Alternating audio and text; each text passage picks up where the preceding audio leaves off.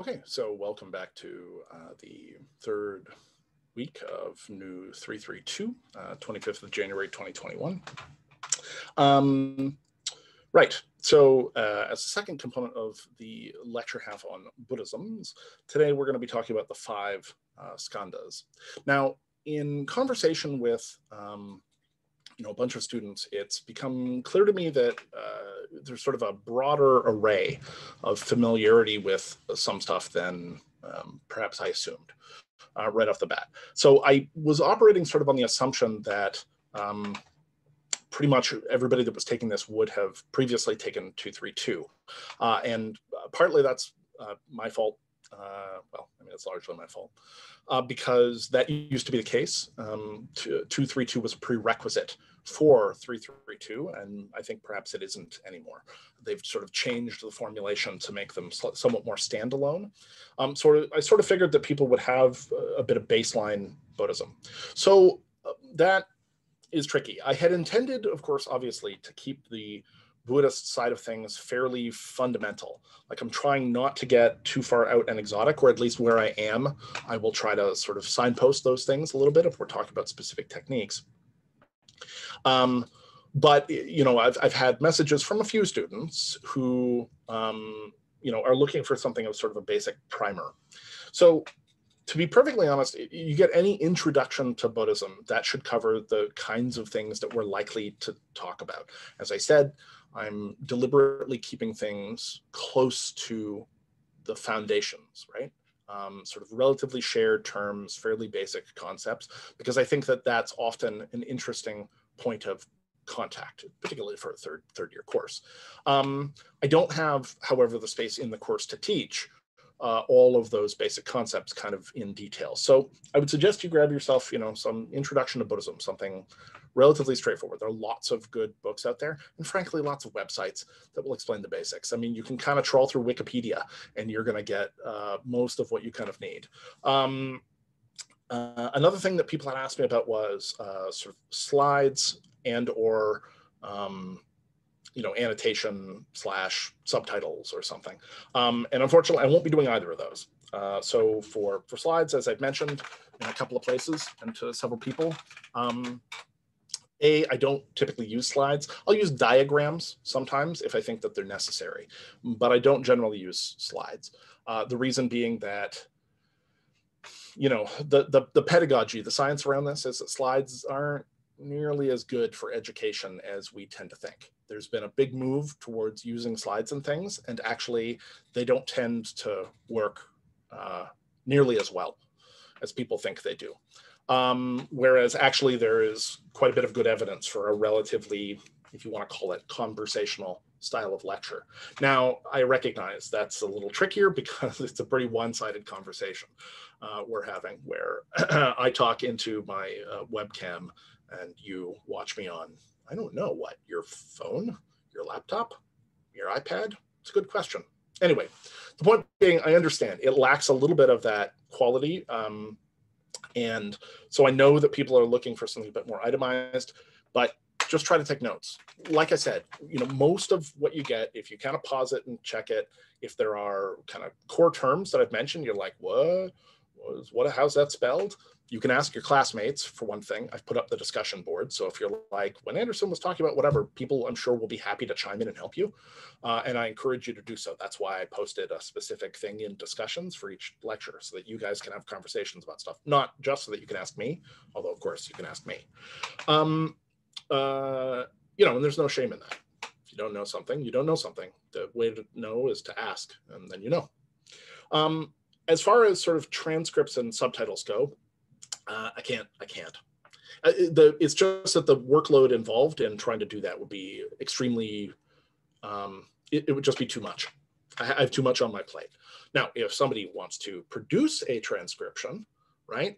Um, uh, you know, I would say if you're going to produce a transcript, of the lectures, then you should go and collect your, you know, your uh, potential bonus marks for doing notes and you want to submit them. So if somebody wants to produce basically notes, okay, you can obviously submit them for bonus marks, but I also encourage you to just share them with your classmates. If you take really good notes or you take a really good transcript or you've got like a list of terms that are mentioned and so on and so forth, share them. That's totally okay. Okay, I'm okay with that. Indeed, I encourage it. I encourage people to share their their notes. So um, yeah, I can't produce a, a, transcript and I can't produce subtitling. Unfortunately, I just I just don't have the time in my schedule. I'm uh, busier even than I would like. Um, and I enjoy this, but like lecturing is in and of itself a fair time commitment. So yeah, but I encourage people to share that stuff. So first off, okay? And the same goes for Buddhist terms. The other thing is, okay, if any of you are like Sanskrit scholars, I apologize in advance. I am not a Sanskrit scholar. I don't speak Sanskrit. I don't speak Pali. So the languages involved, you're probably going to see me mangle pronunciation and I'm going to be playing mix and match. This is a conceptual exercise for me more than it is primarily a linguistic and cultural exercise. So while I do do re reading in the field, I would not claim certainly to have sort of linguistic expertise. And so for those of you that are familiar with that stuff and are wincing when I swap back and forth between terms in different languages that mean the same thing or whatever, uh, you know, whatever. My, my apologies. You should feel free to chastise me and or correct or clarify on the discussion boards if you like. Um, y'all have uh, an equal share in your own education and I would encourage you to, to interact and participate with each other as well as watching me. Okay, I think that's the various logistic things. So as I mentioned today, we're gonna talk about the, the skandhas. So we discussed last week um, you know, the notion of the Four Noble Truths, and very specifically, you know, the first truth and the notion of dukkha, dukkha, right? Um, typically translated as sort of suffering, right? All is suffering. Sometimes you'll get translations like all is stressful. Um, I proposed something closer to all is sort of unsatisfactory. But there is another aspect to the concept of dukkha, to the concept of suffering. Uh, and that is that very often it's tied to the idea of impermanence and the fact that things are conditioned, that they are impermanent and that they are conditioned. Okay, so let's talk about those sort of a little bit. One of the ideas in Buddhism, as we discussed, when we talked about anatman, the idea that there is sort of no central self, right? That there's no essence, right? We things are a collection of features, but they're not essential or eternal. Okay, they're just a collection of features that comes together and it's impermanent and it washes away. You can see that obviously, right, in certain kinds of um, art and things that you will see produced within Buddhist cultures. So the most famous version of this, okay, is uh, the Tibetan Buddhist practice of sand painting. Okay, sand painting, if you've ever seen this. If you haven't, uh, look on YouTube. You can find them doing it. You may need to fast forward it, to be honest. Uh, although if you're a trooper, watch the whole thing. So these sand paintings work, and what happens? You get like a monk or a lama who has a variety of different kinds of colored sand, okay? And they're very carefully creating a big pattern on like a big smooth floor. So imagine like a big marble floor and, and they're taking just tiny amounts of sand to create this incredibly intricate pattern, right? Often a big mandala, right? A big sort of circle, spiritual circle that um, serves as a kind of map and illustration of the universe, as it were. So you'll get like a great big mandala with, right, incredibly fine details that they're getting by sprinkling this sand. And it'll take them a long time. When I say a long time, I mean like, you know, 24 hours, 72 hours, that kind of thing. Like a long time, okay? It's extremely meticulous. And then when it's complete, they sweep it. Like they promptly like disrupt it. They make it and then they sweep their hand through it and disrupt it and destroy it. Now, a big part of this is what? They're trying to get at the notion of impermanence. If you've ever seen one of these things get, there's like a palpable feeling of oh, that you have when you watch a hand go through it, right? Like imagine this is a scene that you see in movies sometimes where somebody is like setting up dominoes and you can tell that there's like a huge number of dominoes that they set up that they're gonna tip over and then somebody like comes in and slams the door and all of a sudden the dominoes are like and you experience this feeling of like Ugh, right? This is the same feeling often that you get when you watch somebody disrupt a sand painting. But that's part of the point. The point is that you watch this like meticulous construction and this enormous beauty get produced and then destroyed and the feeling that, oh, that you're having is attachment. That is precisely the feeling they're talking about. The idea is that it is no different that you grow attached to any other circumstance, right? Than that you grow attached to the painting. And the feeling you have in the painting is a pretty minor one, right? I mean, you know, how much, if you did it for three days, you might have a stronger commitment, you'd get a stronger feeling. But like as an observer, you watch this thing and then seeing it uh, get wrecked causes that visceral response. And yet you haven't participated that much in it. Now, if you consider that idea from within the Buddhist perspective, the idea is that, in a sense, your attachments, yourself, your accomplishments, your life, those are like the sand painting, right? You put all of this meticulous effort into making this thing. But at the end of the day, we're all going to die, young or old. You might live to a ripe old age. You, currently alive, if you're relatively young, might hypothetically be the recipient of scientific technologies that will extend your lifespan by dozens, maybe hundreds of years. But if you live to the age of 500 and then you die, you die. And your accomplishments at the end of the day, in some sense, and all of the things that you have accumulated to yourself are swept, right? They're swept. Now that's hard for people. Like it's an understatement to say that death anxiety, right, provokes a certain kind of strong reaction in people. Obviously it does, although as we will find out from the psychology moving forward, that the uh, an encounter with death does not typically have the same kind of effects as people suspect it will or something. So we'll talk about that later. But the point is, right, that feeling of attachment that goes with um, that goes with watching something so meticulous and invested in and beautiful and so on and so forth get swept away, that is precisely the attachment that causes suffering. I mean, imagine if instead, right, it didn't get swept away, but it, you know, they had built it in the middle of like a, you know, a, a busy hall. Let's say they built it on the floor in, in a, like a busy, uh, you know, like train station Okay, so it's like Grand Central Station, and they did it, and they built this thing overnight. And now, what do they have to do? They have to like make sure nobody tramples through it. They have to make sure the wind doesn't get at it. They have to make sure that like you know a garbage cart doesn't get rolled through it. They have to, right. They're sort of guarding it. That is essentially the position of attachment, right? We get situations and relationships, and we get configurations of ourselves and our accomplishments in our life, and then we are panicking to keep them from being swept away. And that is the source of a great deal of our suffering, right? Is this attachment. When in fact, at the end of the day, they are necessarily impermanent. They're necessarily impermanent, right? They are not permanent. They're not eternal.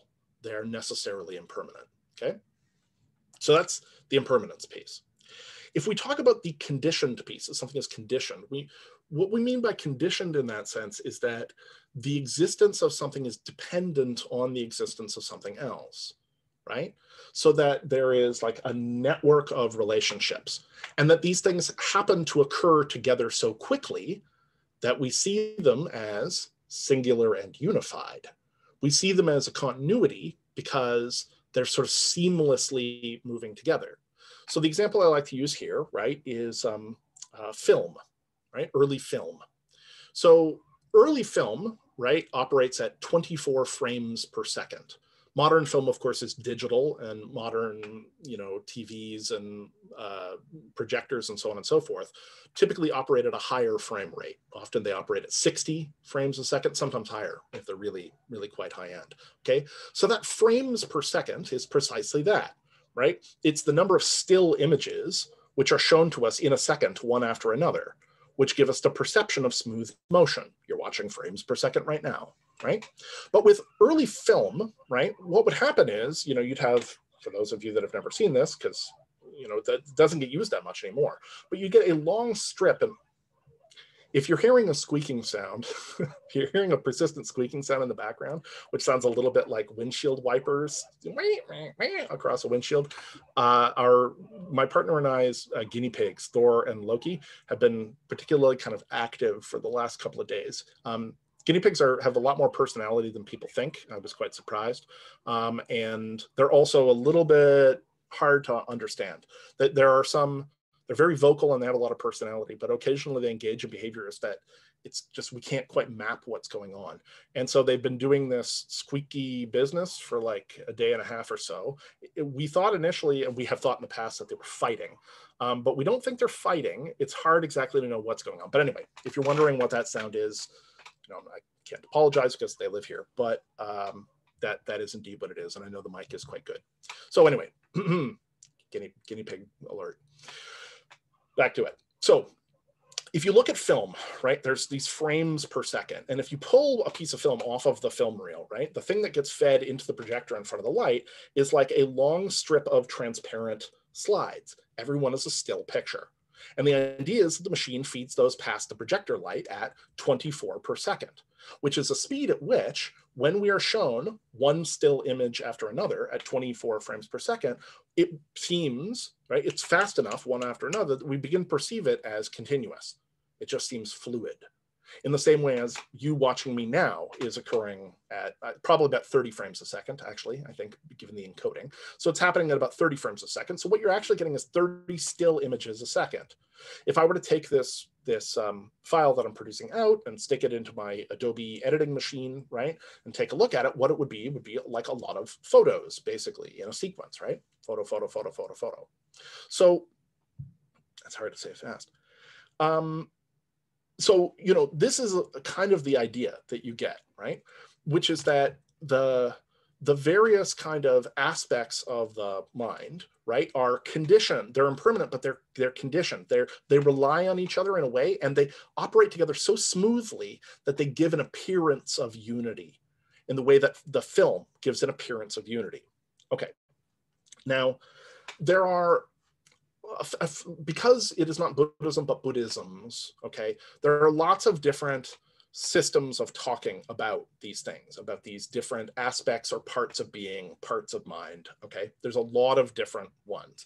You go to a slightly different part of the world or a slightly different tradition and you're gonna get a different list. And that can be quite confusing, obviously, if you're sort of getting into this stuff. When I was studying this material initially, many years ago, um, one of the ones that threw me that some of you may be familiar with is the 51 mental factors. Okay, the 51 mental factors. And this is like a list basically of all of the different mental things that can occur that you can sort of identify and, and how to distinguish them and you know what sort of thing they are and so on and so forth. Okay, 51. Now the thing is there are a couple of problems. One of them is that different people have different lists right? In that sense, it's not so unlike different psychodynamic theorists, right? They all agree on certain fundamentals, but the specifics of their system can be quite different, right? And there can be advantages and disadvantages to different systems in the same way as there are advantages and disadvantages to different languages, right? It's not that one language is better than another language. They just do different things. But some of them do indeed describe certain things better than other languages, right? There's a reason that English uses the French word déjà vu, because the English term for that would be like, you know, that thing where you uh, are pretty sure that you've already seen something, but you also know that you haven't seen it. It's kind of a long sentence, deja vu. It's good, right? And you know, for those of you that speak more than one language, you will know that there are sort of terms in your language, right? That that will hit on specific things. Different languages are good for different things, right? They do different things. That's why, in fact, we ought to I think anyway, we ought to promote an absolute diversity and multiplicity of languages. Every time I hear about these small languages going extinct, I'm a little sad. It's like hearing about, you know, a rare butterfly going extinct. You know, it's easy to be like, ah, what was it doing? And the answer is it was contributing to the complexity of the system is what it was doing. And, you know, if you don't just want to have an ocean that's full of like jellyfish and slime, not, nothing against jellyfish. They're quite beautiful but you know what i'm saying right? You want to promote a diversity right? Having a diversity in your ecology is important. Same with languages. Anyway sorry that was didactic but also polemic so you'll excuse me. But the point is that the different formulations within buddhism are going to have different systems with different sort of attachments. That's one problem. The other problem with looking at like the 51 mental factors when i learned them was i was learning them in translation and so there would be like five terms in a row, and it would be like consciousness, awareness, knowing, right? Uh, sentience, um, self consciousness, consciousness of the self. I'm making that up a little bit, so it's slightly tongue in cheek, but you see what I mean. Like getting the fine-grained distinctions between those things might be easy if you spoke Sanskrit or Pali. And, and maybe also we're reading those texts where they get that original fine-grained distinction. But reading in the translation was incredibly difficult. Some of them jumped out, but like I would be hard pressed, despite the fact that I studied it quite hard, right, to list off the 51 mental factors, right? So, um, right. So the point being, there are you know, lots of accounts in different Buddhisms, right, on how to break these things down. But one of the ones that we do encounter that's pretty common, it'll differ a little bit, okay, but it's pretty common is the skandhas, okay? So these skandhas, which means basically heaps, right, heaps like piles, okay? Skandhas are this idea that you are not a singular unit of being, but rather that illusion is produced by the interrelationship of these uh, these sort of five skandhas, these five heaps, these five parts. Okay. So, and the the skandhas in a sense are produced by uh, interrelationships between what what the Buddhists would think of as your six your six senses. Okay, your six sense organs. So let's talk about that first, real quick. Okay. So what are these six sense organs? Okay, eyes, pretty obvious, right? Okay, ears, fairly straightforward on board there. Nose, good, good. Okay, great. Ah, tongue, right? Obviously, the sense of taste, although most of that is smell, but let's not quibble. Um, body. Okay, well, body body is kind of an amalgam. So body is both touch, right? Your tactile sense of touch, but also it would include things like um, certain kinds of interoception, right? Like your uh, sense of balance or like uh, like when you feel queasy, that kind of stuff. Your internal sense, so your interoception, uh, and also things like balance, et cetera, et cetera, right? Your sense of your own temperature, for instance, right? All of that would be covered under body as well as touch. And then last, and this tends to kind of throw people off, mind. Mind is considered a sense organ in Buddhism. Okay, so what does that mean? Well, it doesn't mean at some level sort of the sense of pure awareness, as we will talk about, right?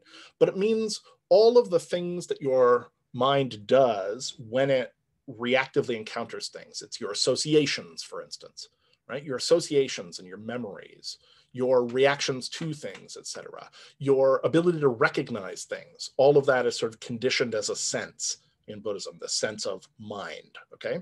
So these are the six senses. And those six senses are going to tend to uh, accumulate into these skandhas, the five heaps. Okay, the five heaps. Okay, so the first skandha is rupa, form. Okay, and form is like, you know, like the world, your sense of the solidity of the world, right? Form is also if, uh, I'm trying to find an opaque object on my desk. You know, form is, you know, the sense of solidity, but it's also things blocking, yes, it's a beholder, if for those of you that recognize it. It's also like the fact that my eyes can't penetrate this. It's a stop to my senses, right? Form, rupa, okay? Vedana is sensation, okay? So that's just sort of like raw sensation, just raw sensation. You just smell something, what's that? Raw sensation, okay?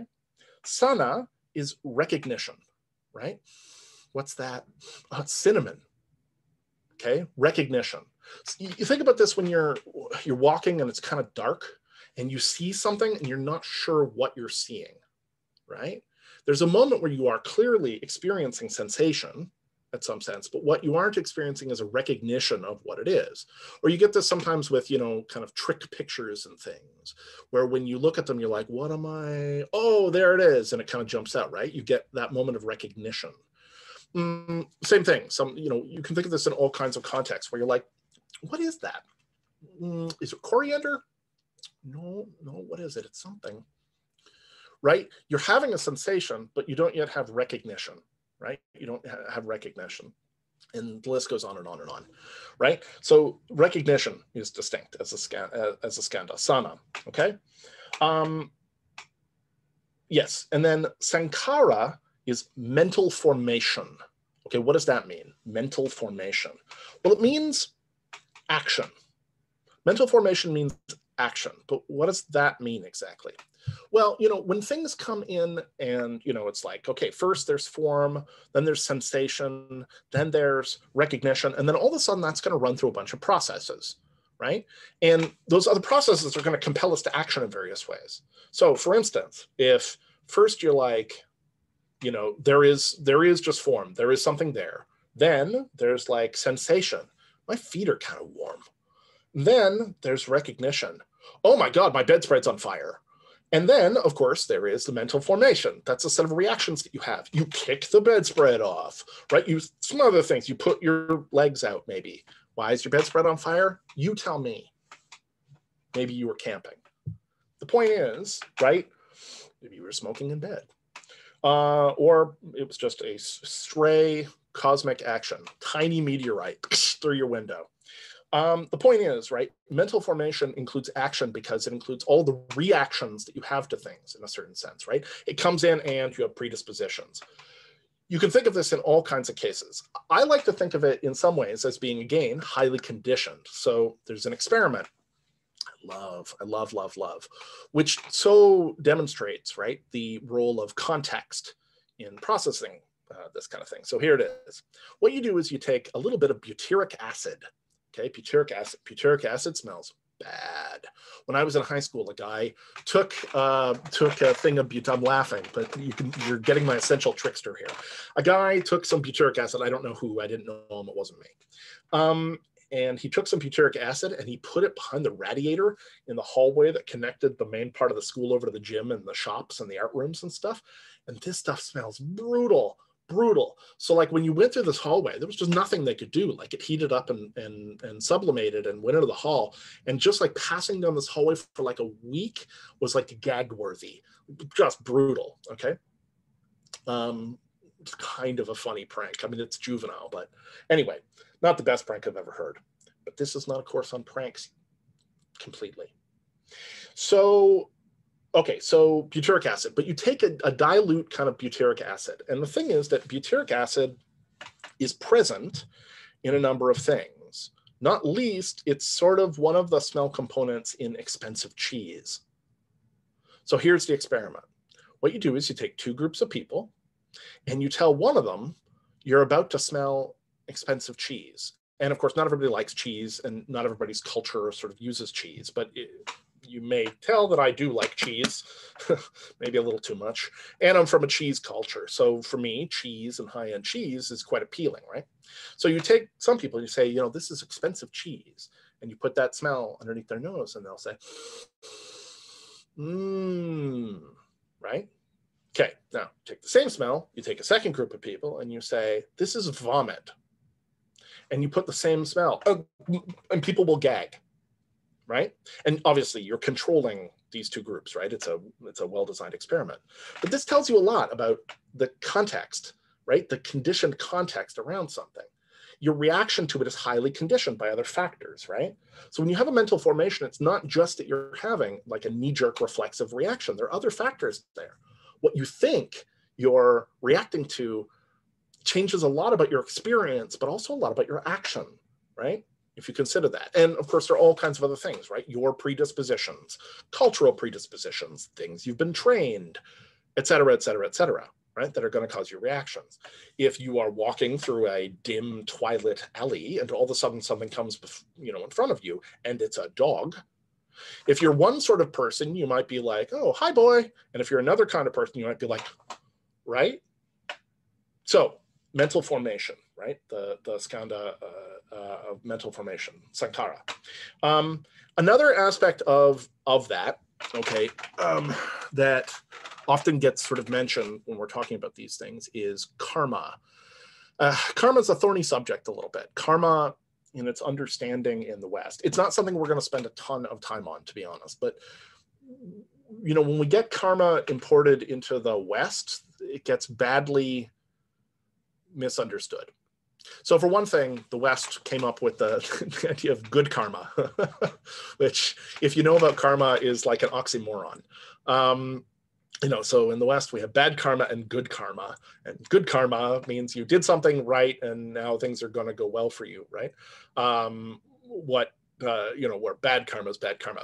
There is only sort of bad karma. in a sense. It's like any karma is is impacting and determining what you're doing. You don't want karma, you want to get rid of your karma. So that's one thing is that the, the West has innovated and created good karma. But the other thing about karma, right, is that we tend to have a very simple view of it uh, as being sort of like, well, what goes around comes around. That's often how it gets viewed in the West. It's like, well, you got what you, you know, were coming to. Or wait, did I say that right? Got what was coming to you. That's what I meant, right? What goes around comes around. Uh, this is a somewhat oversimplified version, and people often think that karma is like, you know, you reap what you sow. Well, maybe, but across multiple lives and also in other people's lives, it's more complicated than that if you start getting into karma.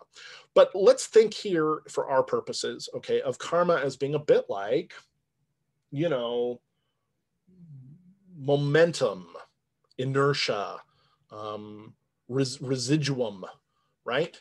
Like past actions continue to have an effect, basically. And if you consider that just in strictly mental cognitive terms, it's pretty obvious, right? So, you know, there's an expression that I quite like that I use with my clients a lot when I'm talking about sort of overgeneralization of models. And it's a cat that jumps onto a hot stove burner will never jump onto a hot stove burner again. But I will also never jump onto a cold stove burner. Right? That's about overgeneralization of models. It happens once, it has effects, but those effects overgeneralize okay, so obviously if something happens to you once, it's going to tend to affect things. Consider that statement, for instance, in, in terms of how you react to relationships. The further you get on in your life, right, generally speaking, you will tend to see that the people that you date as they grow older will have more baggage. What does that mean? What's baggage? Well, baggage is all the hot stove burners they jumped on, basically right? It's all the ways in which they've been hurt, all the ways in which they've been traumatized, all the ways in which their needs weren't met.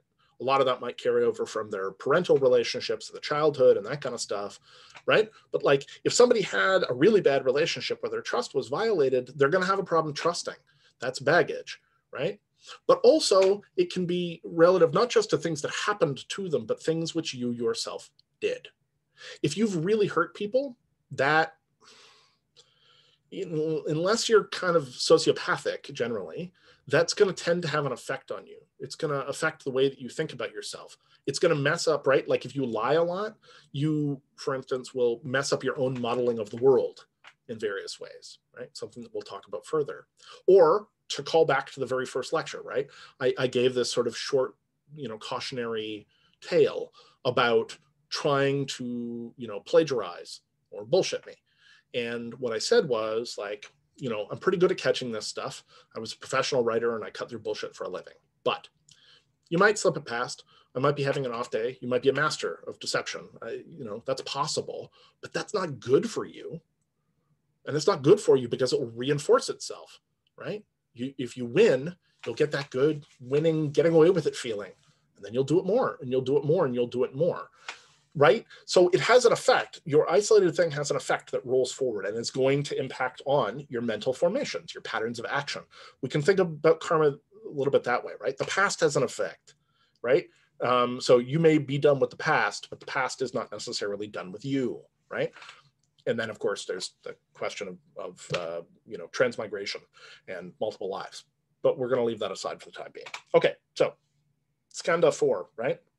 sankhara And then there is uh, the, the fifth skandha, which is uh, Vijnana.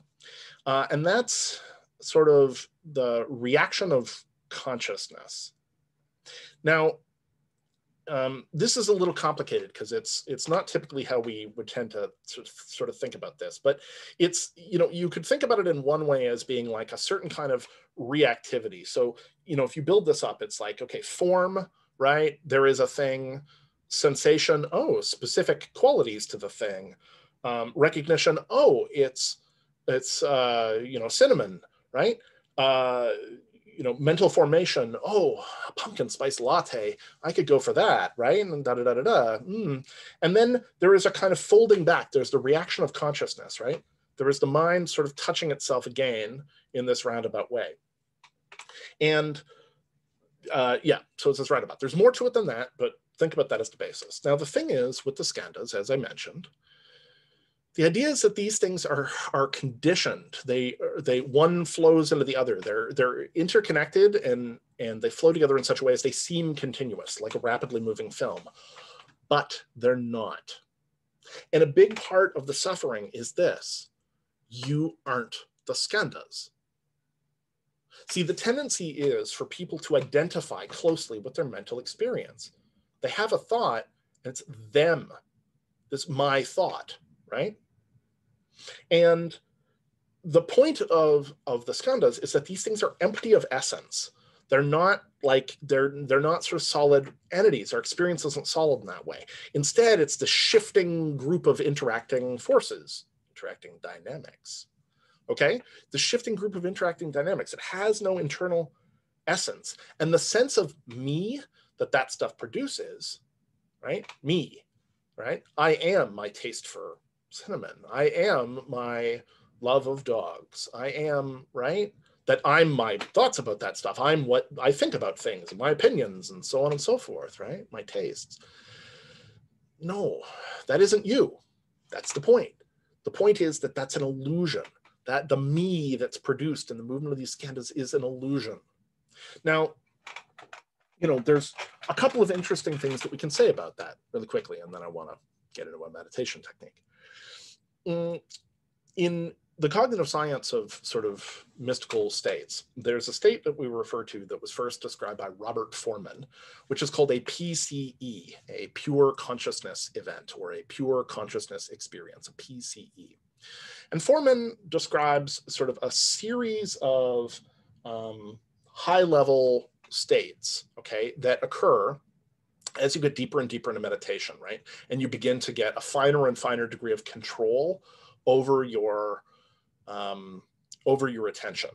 And eventually, you know, you begin to be able to reach a, a state of awareness without an object, consciousness without content. Now, that throws people because a lot of people are like, that doesn't mean anything. Like, what would it mean to be having consciousness if the consciousness wasn't conscious of anything, right? Like, what does that mean? But that is precisely what the PCE claims. And you'll see that claim turn up in a lot of advanced meditative systems, right? The claim that it can be possible to attain a state of consciousness where you're still conscious, but you're not conscious of anything. Your mind is simply conscious, a pure consciousness event. Now, if you try to wrap your head around that, some of you may have had this experience. I've had it um, in bursts a few times. I know people who have had it more persistently in their meditative practices. Um, and I was involved in something of a project where we think we may be able to produce it more reliably. But, um, you know, if you consider that, if you sort of identify in some sense with the skandhas, right, then that just seems like nonsense on its face right? Like, what are you talking about? You can't, consciousness is consciousness of something, right? And if you don't have contents, now there are some philosophical and cognitive science answers that we could give to this. And this is part of my work with John Vervaeke. We don't have time for that in depth, but I want you to just have the idea for a second that there might be a kind of awareness where all of that stuff that you're normally attached to is quiet. It's not there. And instead, there's just this background witnessing consciousness, but stripped of all of the things that normally fill your mind that you identify with, right? That's the pure consciousness event, right? Stripped of all the things that you normally associate with, all your memories, all your associations, right? All your emotions, all that stuff. Okay, pure consciousness event. So that's sort of one thing that uh, you know that I, I want to point at in this respect. Um, you know, the other thing that uh, I will say in this respect, you know, this this notion that the skandhas aren't you, you'll find that this actually is a somewhat important factor um, in some forms of, of therapy, uh, many actually. Um, and I like sometimes to reference, there's an expression that comes out of Ireland. Uh, my family used to think they were Irish, that's a story. And when I was 27, I discovered I wasn't Irish at all. Um, but uh, I but I have Irish friends, and I, I, mentioned I had Irish friends when I lived in England when I was at Cambridge, and uh, one of the expressions that the Irish have that I've I always like. The Irish have a lot of lovely expressions. They have the largest average vocabulary of any English speakers. They're very verbal, very verbal people. by you know on average. Um, but they have this expression instead of saying I'm sad, right? I'm sad. Instead of saying I'm sad, they say I have a sadness upon me. I have a sadness upon me. It's almost like it's weather. It's not you, it's on you. You have a sadness upon you, right? I've always liked that because it's it's got a, a bit of distance, a little bit of separation. And we, many of us have been in a situation, right, where we've experienced depression or we've known people who've experienced depression who are deeply concerned that if something changes, that if they lose that feeling, that they're losing themselves, this is who they are. They're a sad person. This is who they are. And I think that in many cases, sort of the, the response to that is this kind of disidentification that it's like, no, it's a thing that's happening within you. Like it's not you, right? It's it's important. You should probably pay attention to it because it tells you a lot about your world and your environment and what makes you tick. But it is not identical with you, right? You have a sadness upon you. It's not that you're sad, right?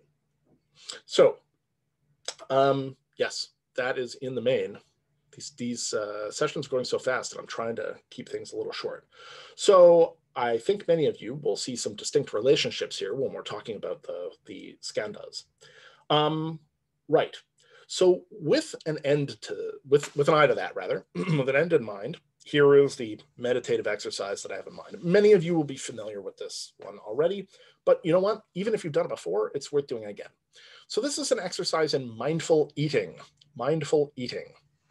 So how does this work? Go get a raisin. Some of you may not like raisins, in which case, I don't know, pick something that is comparable, but you'll see why I'm choosing a, a raisin and not like a Tic Tac or, uh, you know, I don't know, a Hershey's Kiss or something. Um, although Hershey's Kiss might work, for, might work fine. So the idea is this, okay? Presumably at this point, you have been engaging in some amount of meditative practice, right? So there's the posture that I talked about, and I would refer you again to the Vervaeke, the link to the Vervaeke videos that I put on the syllabus. It's a it's a good sort of groundwork for practice. It's going to be more elaborated than what I'm doing here, right? But you know, you're dropping in, so you are right, making sure that your hips are above your knees, that your spine is is holding a natural column that's holding you upright. You're breathing deeply with your belly, right, and your chest, and you relax and you do a body scan, right? Progressive relaxation. Relax your scalp, relax your face, relax your neck, right? Work your way down as you breathe, right? Relaxing as best you can. And then you're entering this, this, you know, state where you're following the breath. And anytime you have a thought pop in, you just grab it a little bit and sort of say, ah, thinking, put a verb, and without losing, you know, your temper, put it off to one side. Now, if you have been meditating by this point, you are, of course, experiencing frustration. If this is your first go at this, you probably had some early success, but now you're like, oh my God, five minutes, or if you're trying like hardcoring it to 10, um, it, it's like your monkey mind is really wild. Okay. Mindful eating is a slightly more applied thing you can try. So I often recommend doing this actually after you've been sitting. Okay, so you've done your sitting meditation. Now the idea is you take a single raisin, not a bowl of raisins, not a bag of raisins, a single raisin or Hershey's Kiss, whatever, we'll see.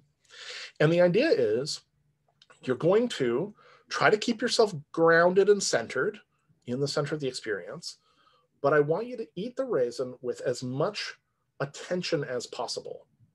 Now, when we say attention, okay, and uh, I'm going to borrow John's language a little bit on this. When we say attention, there's sort of two ways that we think about paying attention, okay? One of them is a kind of rigid, hard focus kind of attention, right? So that's like that's like we've got you know like a, a, tube and we have it fixed on this. Speaking of influencers, this brought to you by Vitamin Water. Okay, um, you, you know, you've got it fixed in place and you're sort of staring, holding it in place. Okay, that's one way of thinking about attention. But another way of thinking about maintaining a focused attention is to think about a soft vigilance. Okay, so, you know, if I hold my finger up like so, and you notice how strangely shaped it is in some ways. If I hold my finger up like so, one way that you can hold your attention is this hard focus. You could kind of do that, right?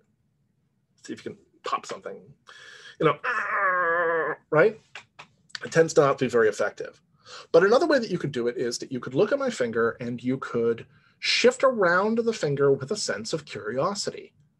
You can look at how my finger isn't a complete cylinder, it actually tapers slightly. You could look towards the coloration.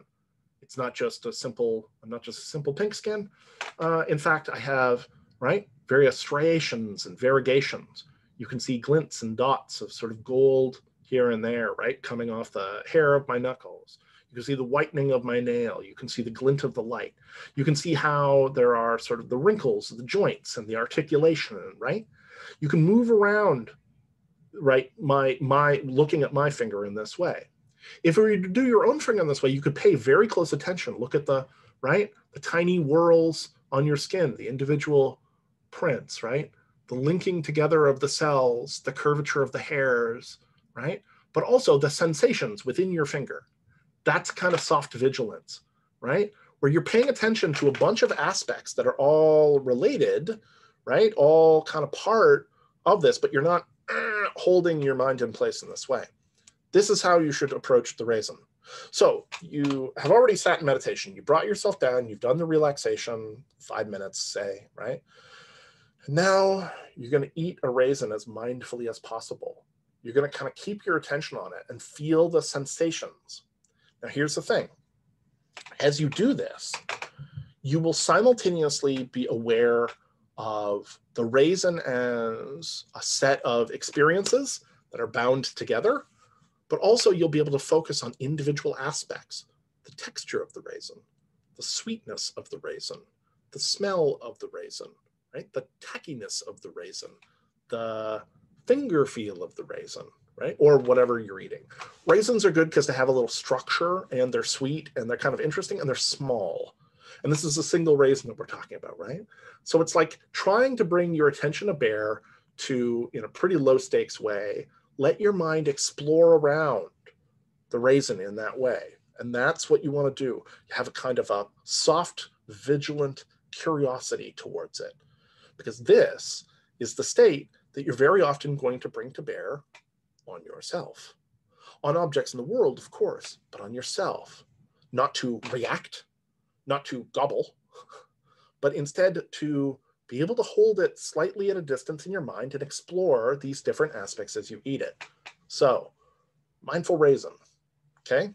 Give that a shot. And people keep asking, hey, I already do this practice. Can I do this? And hey, can I, you know, is it okay if I don't do this or I'm finding regular meditation, whatever? Look, try a regular meditation practice. So basically try something you're doing consistently. If you're already doing something, that's fine. Just experiment with some other things. This isn't specifically speaking a course in meditation, right? But it is intended to give you some access to, experientially speaking, some of these techniques. And like there's a reason that millions of people have practiced these techniques for thousands of years and that science is so interested in them. And that we think, you know, they're quite useful therapeutically speaking. So the idea is just like, look, it's a sampler, you know, try different things, you know, keep a regular technique so you get that the experience of persistence and the benefit of persistence across a few months, right? You may find you want to make it a permanent part of your um, schedule. Um, but also like experiment, experiment a little, explore, right? Explore with some curiosity, try different things. If you have a regular technique, okay, keep doing that. But also try some other stuff, right? If you've never done this raisin, try that. If you have, try it anyway, okay? So that is that for the day. Okay, I hope everybody is uh, doing okay around the first assignment. I know a number of people asked for extensions, and as I said, that is fine. Um, and uh, yes, and how time flies uh, with these. So these were brief, but of course we will pick it up next week. Uh, and next week, I'm just double checking here. What what is uh, what, what's on the docket for next week? He said, having written the syllabus, what's on the docket for next week? Oh, my iPad's being slow. Here we go. Docket for next week. Oh, right, craving and attachment. Okay, that'll actually be, uh, that'll be quite interesting and it will carry on from stuff. So I'm gonna try to get deeper. Uh, I know that a number of you have expressed some interest in hearing more about the, um, dissociation aspects. Um, and certainly those will thread through the course to some extent because it is a, a personal and uh, academic and research and professional um, therapeutic uh, interest of mine. So that'll definitely come up more as we go. Uh, but you know, I'll try to spread it through. I just wanted to make sure we were kind of hitting some core points. So next week is uh, craving and attachment, um, which I think you'll find is um, quite interesting. So have a good week. Uh, I shall see some of you this afternoon uh, at 4.30 uh, at my Zoom available per the link on the front page of the syllabus, and I think I posted it up in Quercus too. Uh, and if you need to book office hours, those are available upon request booking, but they, they do get snapped up pretty quickly. So those are 1.30 to 3 on Fridays. Okay, good. I hope everybody's well. I uh, hope your assignment went relatively smoothly and have a great week. I'll talk to you soon.